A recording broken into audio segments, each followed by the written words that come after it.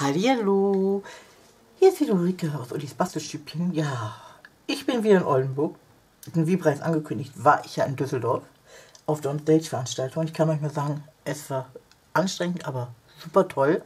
Jederzeit wieder. Und ich habe natürlich auch, wie ihr sehen könnt, geswappt. Darauf habe ich mich besonders gefreut. Und ja, jetzt ist Montag. Jetzt drehe ich für euch das Video und hoffe auch noch, dass ich das heute reingestellt bekomme. Ähm, ich habe leider nicht alle meine Swaps wegtauschen können, da ich ähm, mittlerweile im Rollstuhl sitze, da ich lange Strecken nicht laufen kann. Und naja, so kann man nicht durch die Gänge huschen, wie, wie auch immer. Aber ich kann euch nur so viel verraten. Es war super schön. Der neue Katalog ist Wahnsinn. Er ist absolut traumhaft. Da weiß man ja gar nicht, wo man anfangen soll, was man zuerst holen soll. Also, ich habe meine Favoriten schon raus. Darf ich euch leider noch nicht sagen. Aber ich kann euch nur so viel sagen. Er wird super sein, der neue Jahreskatalog. Und die Farben, die neuen In-Color-Farben sind wow. Absolut. Ja, das sind meine ergatterten Swaps. Ja, wenn ihr ein bisschen Lust habt, zeige ich euch die und auch von wem die gemacht worden sind. Weil das sind immer neue Sachen, auch für mich neue Anregungen. Finde ich, bin total begeistert von den Produkten, die ich natürlich auch gleich schon angeschaut habe mir. Und wir verlegen mal los. Ich schiebe das jetzt mal beiseite. So. So, fangen wir mal an hier. Ich habe jetzt so ein ganz kleines, das ist total niedlich. auch dieses kleine Tütchen hier. Erstmal kriegen. So. Und zwar ist da die Schere drauf von dem ähm, Gastgeber-Set aus dem Frühlingssommer-Katalog.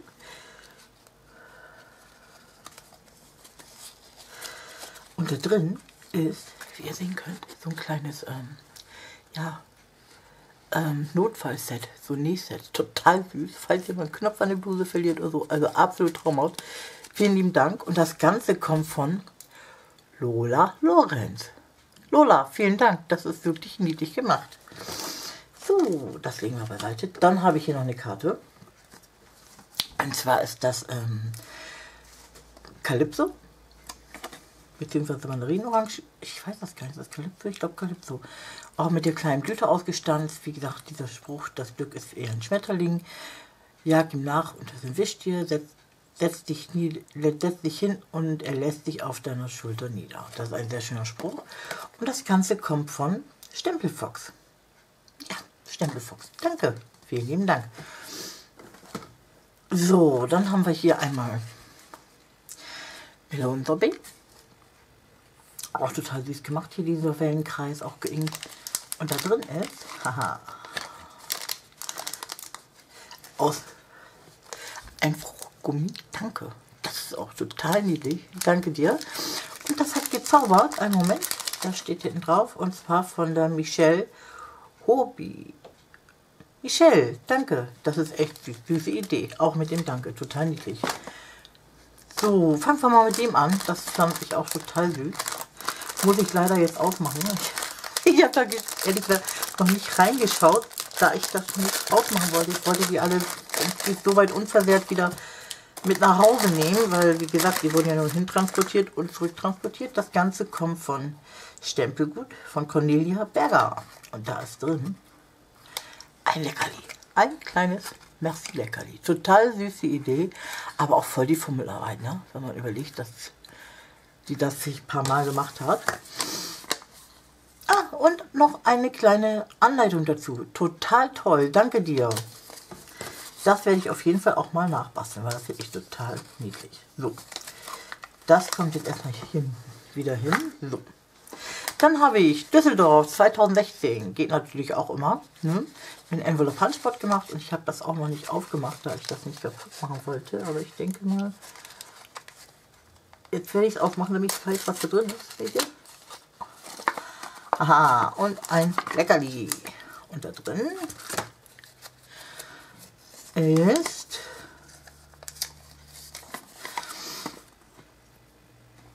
Danke fürs Swappen. Gabi Appelt von Gabi Bastelt.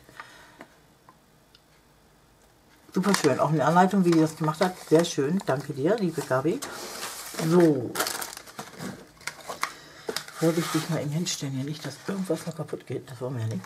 Diese fand ich auch total witzig und ich muss unbedingt gucken, wie sie das gemacht hat. Was soll das? Traumhaft schön. Und zwar geht die Verpackung so auf. Sieht die nicht toll aus? Wow.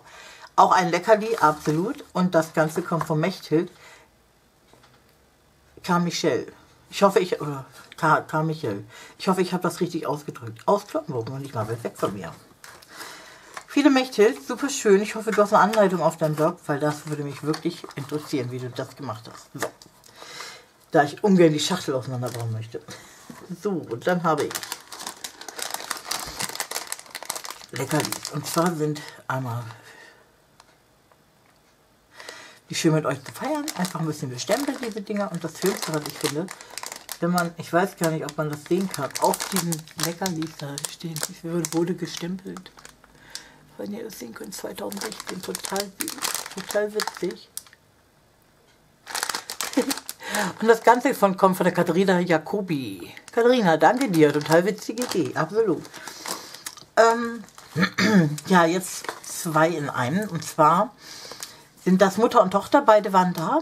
Und zwar einmal ähm, Marlies Dutsch und Kirsten Wendland und wenn aus Bremen, und wenn ich das richtig ähm, verstanden habe, hat die Mutter sich einfach vor den Knöchel gebrochen und so nach konnte sie leider nicht teilnehmen. Aber ich danke dir trotzdem für den Swap, die sind beide wunderschön. Hier auch einmal wieder schön, sehr schön gemacht mit dem ähm, Botanical Garden.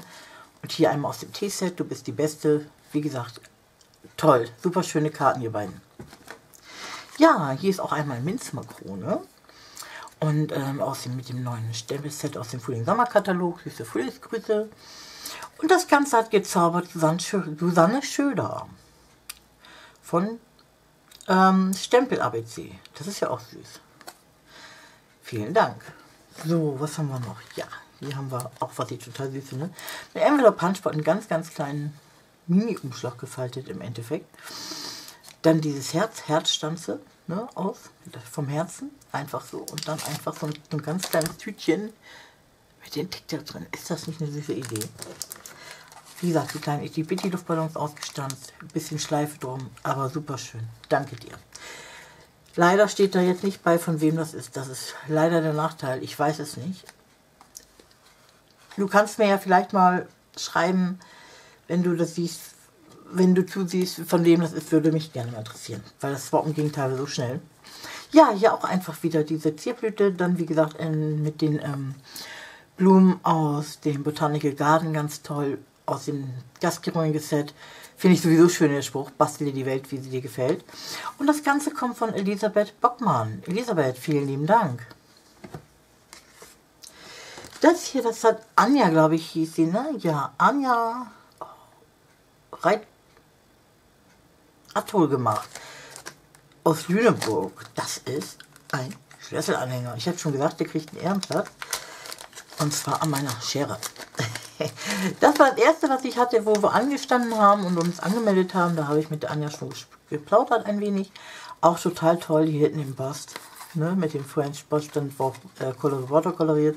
Und auch dieser kleine Schlüsselanhänger ist total süß gemacht. Also vielen lieben Dank. Echt eine sehr süße Geschenkidee. So.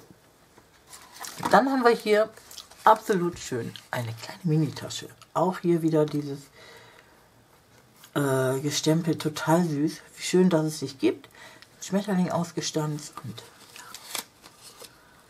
drin ist eine kleine Rittersport. Und das Ganze kommt von Sabine Helmer aus. Sabine, vielen lieben Dank. Das ist eine wunderschöne kleine Geschenkidee. Absolut. Kann man nur, kann man nur weiterempfehlen. Vielleicht bastel ich mir die auch nochmal nach, weil die finde ich nämlich wirklich sehr schön. So. Vorsichtig für zusammenbauen, ja. So, dann habe ich, ach ja, die, zwei, drei Sachen konnte ich mir nicht angucken, weil dann hätte ich die Tüten kaputt gemacht. Aber das meiste, Entschuldigung, habe ich mir natürlich ähm, angeguckt. Und da ist eine Tüte Haribo drin. Haha, auch eine total süße Geschenkidee. So eine kleine Schachtel in einer Schachtel arbeiten. Hier auch wieder mit den... Ähm, mit dem Papier bzw. mit Stempeln gearbeitet. Total süß. Bastel dir die Welt, wie sie dir gefällt. Und das ist von Stempeln mit resus.de und zwar von der Renate Kajerstock. Renate, vielen Dank, das ist eine total süße Geschenke. Absolut. Aber eigentlich finde ich alles toll. Ja, und das ist eine, mit der habe ich dadurch, dass ich im Rollstuhl war, muss ich sagen, habe ich diesen Augenkontakt nicht so gehabt, diese Augenhöhe. Und das ging manchmal so schnell. Hier ist es weg. Schade, mit der hätte ich mich gerne unterhalten. Und zwar mit der Stempeline, weil ich bin absoluter Fan von ihr. Und ähm, auch die Karte hier mit Timeless Texture ist ein bisschen koloriert. Also absolut. Stempeline, genau. Janet Egemann. Auch eine ganz liebe. So, aber die sind wir alle. Dieses ist ein Kühlschrankmagnet. Und ich weiß, wie sie, die hat mir ja schon mal erzählt, wie sie es gemacht hat. Ich hoffe, du ähm, aus der Kobold-Werkelei, ähm, Ilona, ich hoffe, Ilona, du machst darüber mal ein Video, weil das fand ich total süß. Das ist nämlich, wie gesagt, ein Kühlschrankmagnet. No? Also er hängt, hält hoch. Ne, hier ist nämlich ein Magnet drauf. Und das fand ich so toll. Absolut. Auch eine sehr tolle Idee. Sie sagt auch, sie hat ganz lange dran gesessen. So, das hier ist Hallihallo, ein kleine Milka-Schokolade drin, also überall Leckerli. Immer was für die Figur und zwar von Annette Kache. Annette, danke. So, dann haben wir hier ein ähm, Bravo, Hurra, weiter so. Und zwar kommt das Ganze von der ähm, gemeinsamen Kreativ von Angelika Nefe. Angelika, das ist eine so tolle Idee. Ich hoffe, du machst mal ein Video, weil ich finde, das ist nämlich aus dem Umschlagpapier. Und wie ihr sehen könnt, das ist alles gefaltet. Das ist also ein großer Bogen. Ich denke mal 30 x 30. Hier noch ein You're the Best.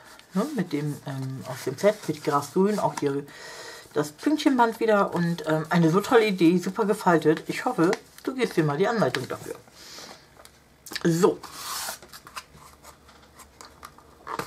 Mal gucken, wie das jetzt hier aufgeht. Irgendwie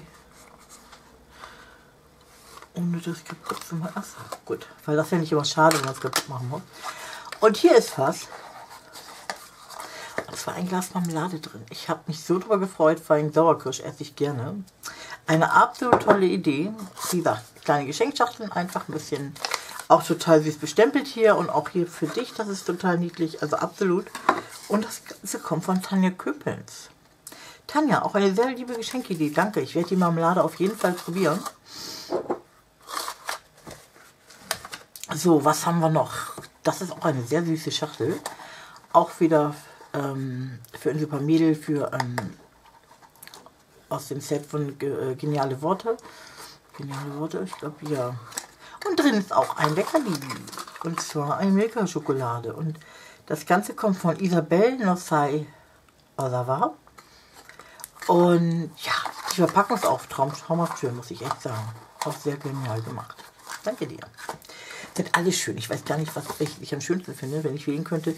Ja, hier auch wieder natürlich Schokolade. You are the Star aus Be the Star. Auch total süß gemacht. Und das Ganze kommt von Claudia Mark. Super. Also echt schön. Da hab einen tollen Tag. Das ist hier mit den dreierlei Blüte auch total süß. Und versteckt sich ein Kinderriegel. Den muss ich jetzt irgendwie mal rauskriegen. Obwohl, der geht, der von Madeleine Pratz ist der. Das kann ich gerade noch so lesen.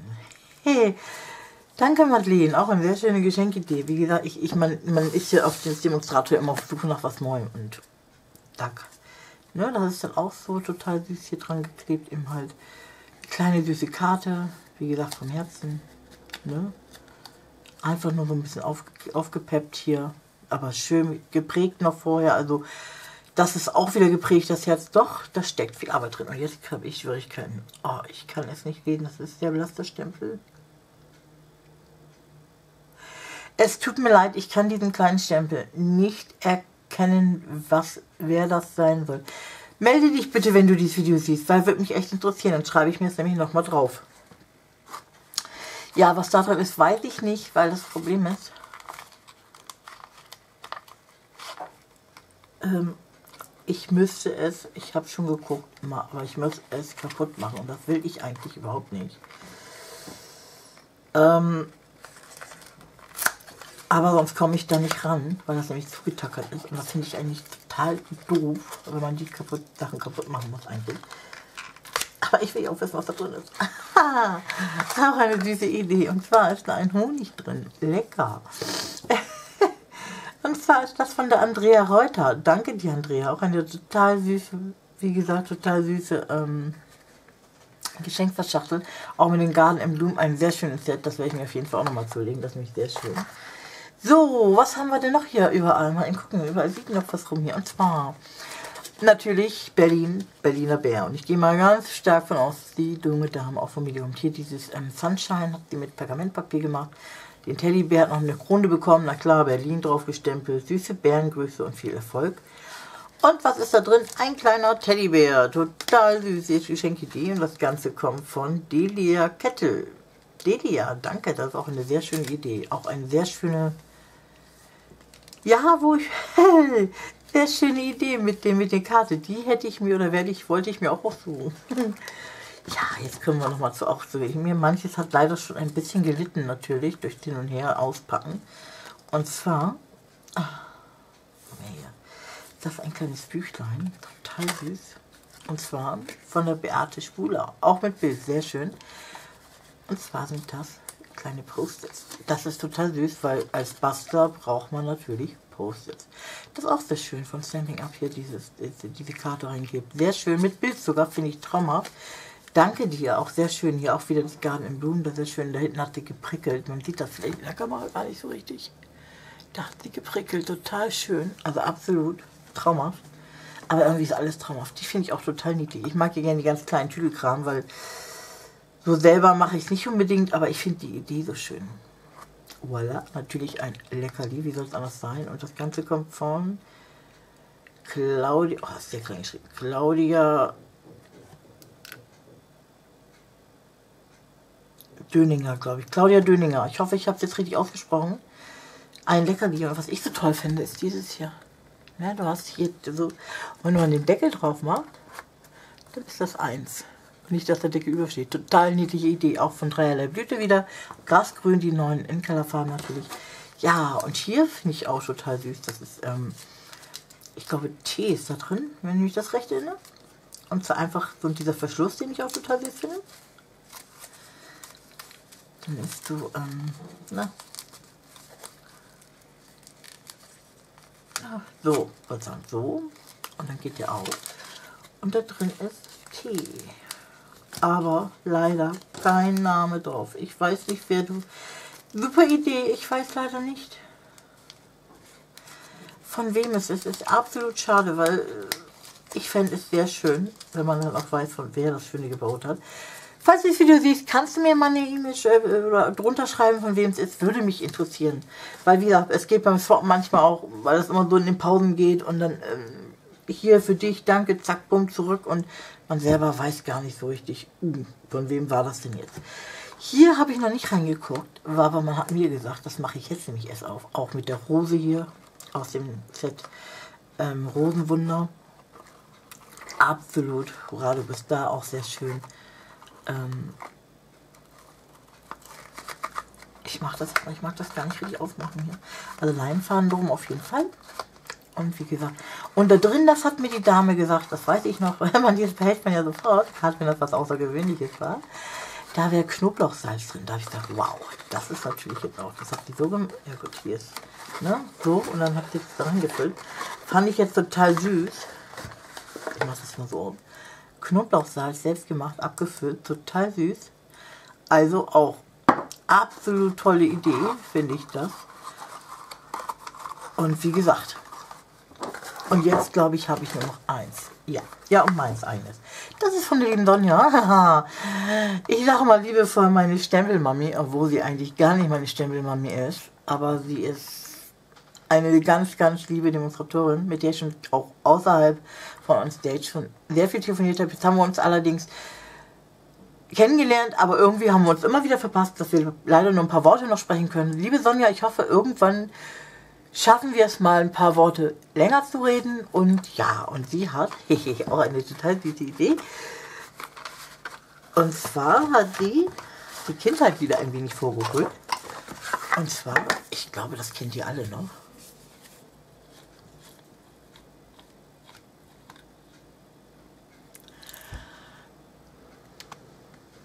Pustfix. Also der Kinderhand, der freut sich natürlich sehr. Ich finde die Idee einfach nur traumhaft, muss ich sagen. Oh, jetzt habe ich hier umgesaugelt. So. Auch total süß hier oben drauf geklappt. 100% Partyspaß. Einmal mit dem Designerpapier hier einfach umklebt. Wie gesagt, ähm, und dann dieser Spruch, der ist auch sehr schön, das ist ja unser Leitspruch. Zu lieben, was wir tun, zu teilen, was wir lieben und somit anderen zu helfen, durch einen kreativen Erfolg zu erzielen. Dadurch zeichnen wir uns auch. Und das stimmt auch. Das ist der ständige Leitspruch. Wie gesagt, Papiertante NF, Sonja, super. Ich habe jetzt endlich mal komplett deine Daten, das ist auch sehr schön. Und wie gesagt, auch eine sehr schöne Idee. Und jetzt glaube ich, bin ich damit nämlich so weit durch. Ja, hier hat sie dann auch, wie gesagt, die großen ähm, Zahlen verwendet und so. Düsseldorf 2016, super schöne Idee. So, und jetzt kommen wir, wenn ich das jetzt richtig sehe, haben wir gar nichts mehr. Also ich meine, gar nichts mehr ist gut. Wir haben jetzt schon einige Zeit. Jetzt zeige ich euch mein Swap. Mein kleinen Beitrag. So, ich nehme das jetzt auf. Wie gleich habe ich nämlich alle losgewonnen. Darüber auf jeden Fall habe ich versprochen, werde ich noch ein Video drehen, weil ich Anleitung geschrieben habe ich nicht, die war sehr umfangreich. Das ist mein Swap. Ich habe mir, wie gesagt, so kleine Klebetiketten gemacht für meinen Hund. So sieht das dann aus. Ne? Da sind auch jetzt wieder die Botanical Garden dabei. Wie gesagt, die kleine Rose mit einem Leckerli natürlich. ja, das war mein Beitrag. Dazu werde ich auf jeden Fall noch ein Video drehen.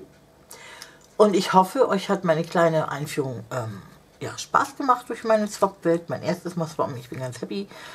Ähm, bekommen auch alle einen Ehrenplatz bei mir in meiner Vitrine. Und ähm, ja, ich hoffe, euch hat das Video gefallen. Ich werde auf jeden Fall, wie gesagt, ein Video die Woche werde ich wohl noch schaffen. Wie gesagt, ich bin gerade ganz streng dabei, mit meiner Homepage weiterzukommen, weil ich die hier komplett einmal umstrukturiere. Mm, und da werde ich auf jeden Fall, das nächste Video wird diese Rose sein. Ja, wenn ihr möchtet, könnt schaut gerne mal wieder vorbei und ich danke euch fürs Zuschauen und sage somit Tschüss, bis zum nächsten Mal, eure Ulrike.